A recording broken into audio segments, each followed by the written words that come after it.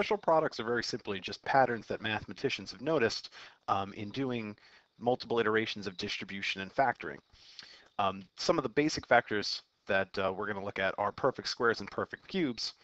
And these are basically just time-saving tools rather than doing all of the algebra that goes into expanding this square or expanding this cube. If you recognize the pattern, you can quickly expand them, and you can also, in the reverse process, quickly factor them um, in recognizing this pattern.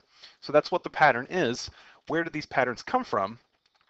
Well, let's look at one of the perfect cube patterns. a plus b cubed, this binomial cubed, should equal a cubed plus 3a squared times b plus 3a times b squared plus b cubed. So why is that? Well, first, if I have a plus b cubed, something that I've never seen or worked with before, it could be easier to first write it in terms of a factor of a plus b times a factor of a plus b squared. Now a plus b squared, I'm using in this case the special product that I know that a plus b squared will be a squared plus 2ab plus b squared. Now again, you could just get that by foiling this out and using double or using double distribution to get that product as well. From here, I'm going to take my first term, my a term, and I'm going to distribute that across this trinomial. I'll end up with a cubed, which is the product of a times a squared, then a times 2ab, which give me 2a squared b, and a times b squared would give me ab squared. And that I'm going to add on then this value of b distributed through this trinomial, which will give me these three terms. And when I combine all of the like terms in this expression, I end up with that special product. So all these special products do for me is allow me to avoid pretty much all of this algebra and jump straight from a plus b cubed to this term. Now it happens enough throughout our algebra course and in future math courses that recognizing this pattern and being able to use it uh, is a very good time-saving tool. Now you can derive each of these four perfect cubes and perfect squares um, just by doing some algebra, but I would take some time to write them down and uh, memorize them. Now what these special products do is just basically speed up our expansion and factoring process. So how you would use them is as follows. This one is a perfect square and it's the difference formula. So I'm identifying which pattern that I'm using. I'll end up with my first term square minus two times the product of my two terms plus my second term squared. So my first term in this case, a, is 2x, and my second term in this case, b, is 4. So I should end up with my first term squared, which is 2x squared, since it's a minus, it will be minus on my middle term, minus 2, which is that coefficient, times a. a in this case is the value 2x, so it'll be 2x. b, and b in this case is 4, so times 4, plus my second term, b squared. So that'll be, in this case, 4 squared.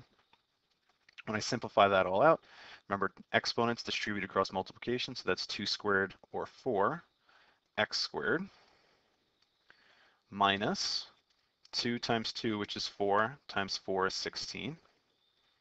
And I have a factor of x as well, plus 4 squared is 16.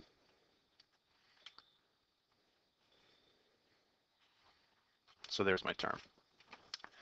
Now, as you get better with this, you don't have to write out this intermediate step. It's actually not required, and I can just look, well, 2x squared is 4x squared. The product of these two terms, 2 and 4 is 8. Double that is 16. That's where this middle coefficient is coming from. And since it's minus, it's a minus. And my last term squared, 4 squared would be 16. So you can jump right from this term to this term, the more familiar with the pattern you become. Oh, I'm sorry. Did I break your concentration? You can also use these perfect square patterns for factoring. Now notice um, this looks like it fits the perfect square pattern and the easiest way to check is to find, well, the square root of x is x, so x is, this is a perfect square. The square root of 9 is 3, so that's a perfect square. Now the middle term should be double the product of those two terms. Well, 3 times x is 3x, and double that is 6x, and 6x matches my middle term, so this is a perfect square. And then the sign is actually exactly the same as this value here. So this will be 3 plus x, or x plus 3 squared is what it will factor to. So that's how you can use these perfect square patterns. If it fits this pattern, it will factor to a perfect square, and that's exactly what we've done here. So in order to check for that, again, each of these corner values, the outside terms, have to be perfect squares. In this case, x squared was a perfect square of x, and 9 was a perfect square of 3. And if that middle term is 2 times the product of those two values you got, so 3 times x is 3x, and this is double that, it fits the perfect square pattern, and then the sign that would go in that term is actually uh, the same as the sign of that middle term. So that's how you can use those uh, patterns here. These perfect cubes, we'll look at using them in class tomorrow. Um, for now, just be familiar with them, and then we'll see them in practice uh, soon. Another special product you should be familiar with is DOTS, which stands for a difference of two squares. It gets its name from this form of this special product, which is a squared minus b squared. That's a difference of two perfect square terms, and it factors to this. And again, this is derived from basically just using properties of distribution on my left-hand side to simplify it to my right-hand side. It can be used for expanding products and also for factoring products, an example of which is the following. If I have 2x plus 5 and 2x minus 5, these are conjugates of each other. The conjugates result in that difference of two square situation. So that's a quick and easy way for identifying when to use this perfect square pattern.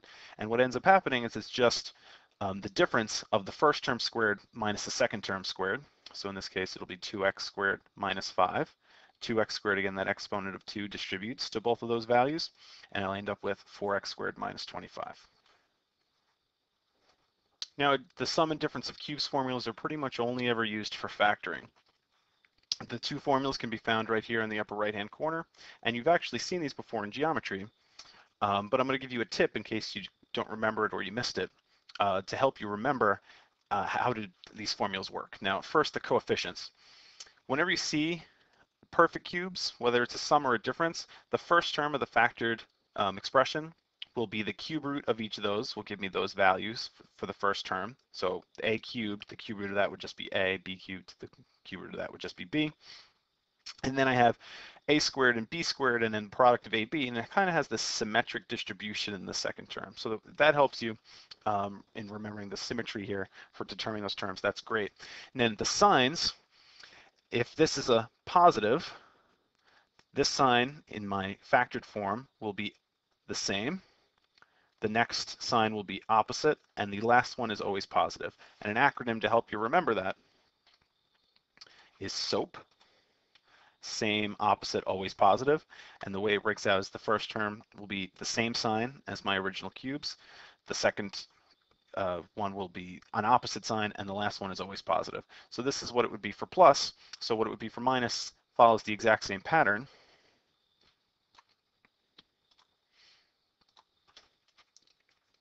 If this was, oops, excuse me, if this was a cubed minus b cubed, this would be the same sign, so it would also be a minus, it would match. The second one would be the opposite, which would be plus, and the last one is always positive, so it's always a plus sign. So that's a tip for helping you remember. Using it in an example, like factoring the following, the first thing I have to uh, identify is what the cube root of these two terms will be. So I'm trying to factor this using this pattern. Okay, so the first thing I'm going to identify is what the cube root of this is. So that would be 3. So the cube root of 27 is 3. The cube root of x cubed is x. And the cube root of y cubed is y. So now I'm going to check if my second term is a perfect cube. Well, the cube root of 8 is 2. And the cube root of z to the sixth is z squared, because z squared times z squared times z squared would give me the z to the sixth. So now that's going to be, those cube root values will be my first term. So that's where my first term came from. My second term, that much longer one, will be this first value squared. So 3xy squared will give me 9x squared y squared. My middle term is just the product of this times this. So that's 3 times 2 would give me 6 x, y, and then I have a z squared. So that's this stuff times this stuff. And then my last term is my last one here squared. So that would me 4z to the fourth. Now my signs,